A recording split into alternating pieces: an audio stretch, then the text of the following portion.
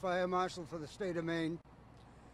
Um, I appreciate all of you uh, hanging here with us this afternoon. Um, I know it's taken some time, but uh, uh, it, it, there's a reason for it. it. It's with a heavy heart that uh, I start this uh, information to you with the announcement that uh, this afternoon at this fire, we lost a firefighter in the firefight uh, Captain Joel Barnes of the Berwick Fire Department succumbed to his injuries that were received in fighting this fire.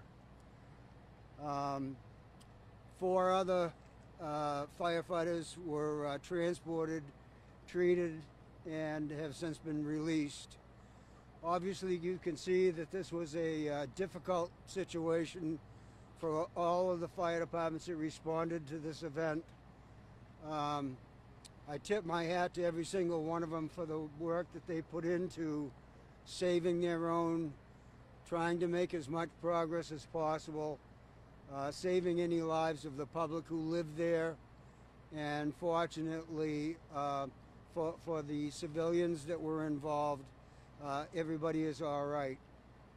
Uh, I do want to make a point that uh, though this is what we do all the time, for every one of us in the fire service. When we lose one of our own, it's a difficult time. Um, as far as the details of the event itself and the number of departments that were involved, I'll turn that over to Chief Wilder. Good evening, everyone. Assistant Chief Tim Wilder from the Rochester, New Hampshire Fire Department. I assisted with the incident command of the scene today. Um, in total, we had just over 16 departments representing two different states that arrived today to help out with this fire. Uh, we were dispatched originally, around 11 o'clock this morning uh, for a smoke in the building. Upon arrival, the first companies uh, made entry in the building. Uh, subsequently, um, as the fire marshal alluded to, uh, we lost a firefighter today. Um, we uh, right now in the process of, as you can see, cleaning up, making sure that the building's secure for the night, as the investigation will be continuing um, thenceforth.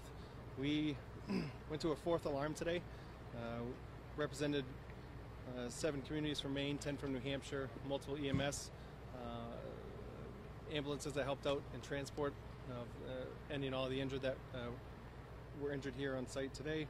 Um, we'll be working uh, through the night with the investigation with all the partners from the Maine State Fire Marshal's Office, New Hampshire State Fire Marshal's Office, the ATF, Berwick Police Department, members of the Berwick Fire Department. Uh, on behalf of uh, Chief Plant of the Berwick Fire Department, we ask that everyone keeps everyone, all the members, all the people involved here, especially the family of Captain Barnes, uh, in their hearts uh, as the, the coming weeks will be tough for all involved as we move forward. Thank you.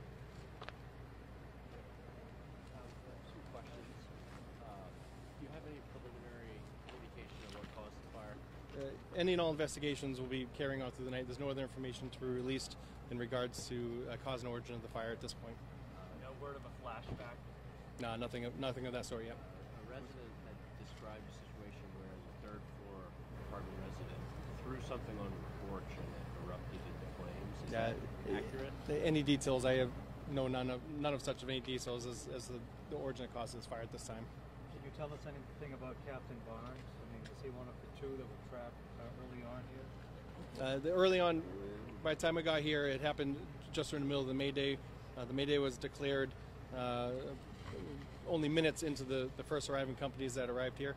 Um, so, um, other than the outcome of the fire right now, we have no other details as to what happened inside. Do you know where Lieutenant Barnes was located in the building when he, became, when he was distressed? Or? At this time, the investigation is ongoing, so that, that information won't be released. Do you know uh, uh, I've met uh, Captain Barnes before, yes. Yep. Can you tell us something about him, or is there anybody who could? Like anyone in the fire service, the heart's into it. This is what they do. This is probably the worst thing we can ever do or go through in our careers. Something certainly none of us want to do. But moving forward, we'll handle it professionally and with the courtesy of the family and friends in mind. Thanks, guys.